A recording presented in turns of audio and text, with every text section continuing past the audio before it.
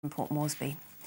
Muslim communities around the world have come under increasing scrutiny since the terrorist attacks of September 11. Some imams have been criticised for inflammatory speeches promoting jihad and religious hatred. But one mosque in Australia has taken the interfaith message to heart and is seeking to highlight the similarities between Islam and Christianity. The Virgin Mary Mosque is next door to a church. Its congregation includes people from East and West, and it's the only mosque in Australia with a woman on its board, as Sue Lannon reports.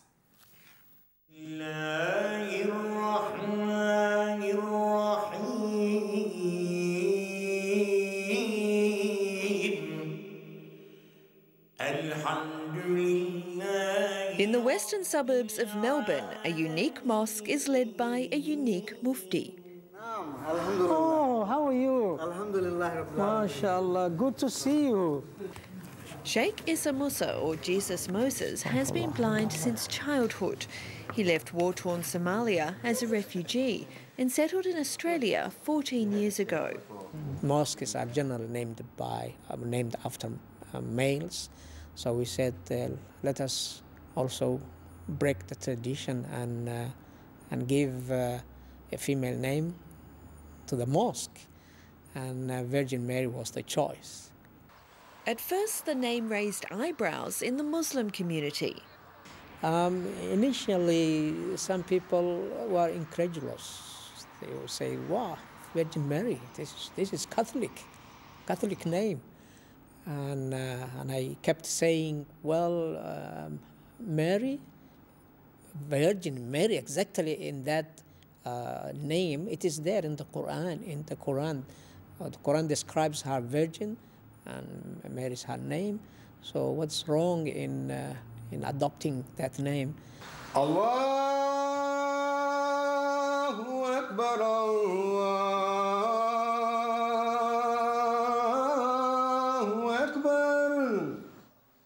Sheikh Issa did his religious training in Saudi Arabia, but he gives his sermons in English, and they are like something you may hear at a church.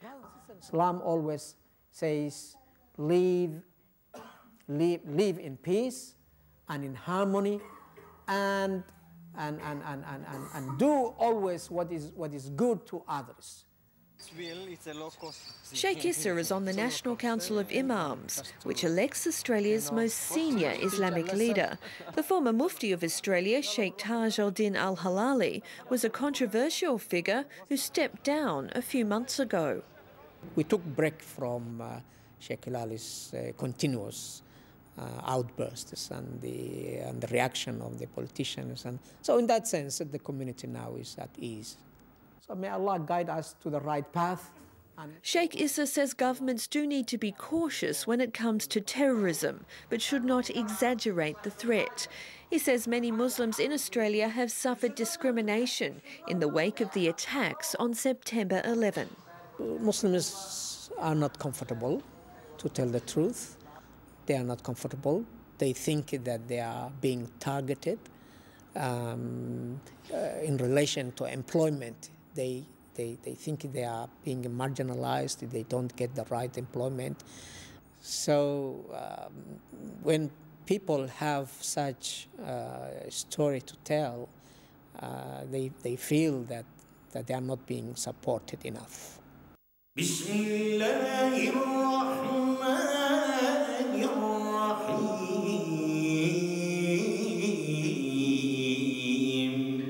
Mosque is one of the most multicultural in Australia.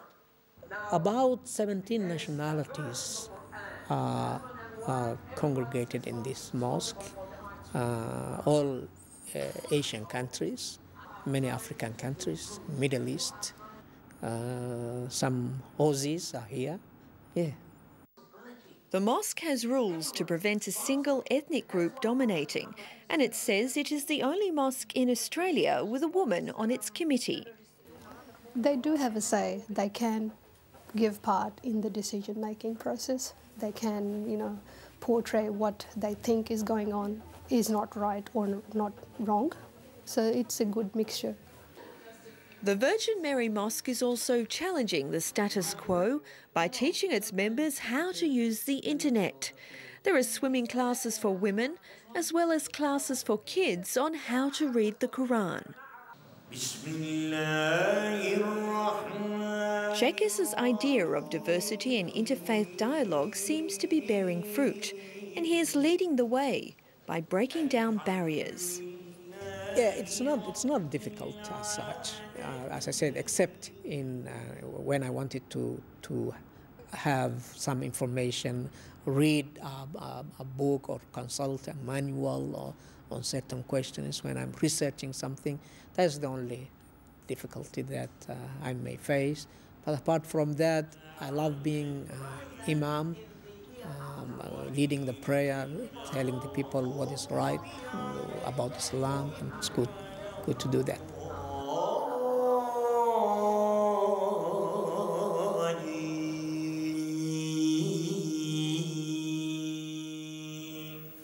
Sue Lannon reporting.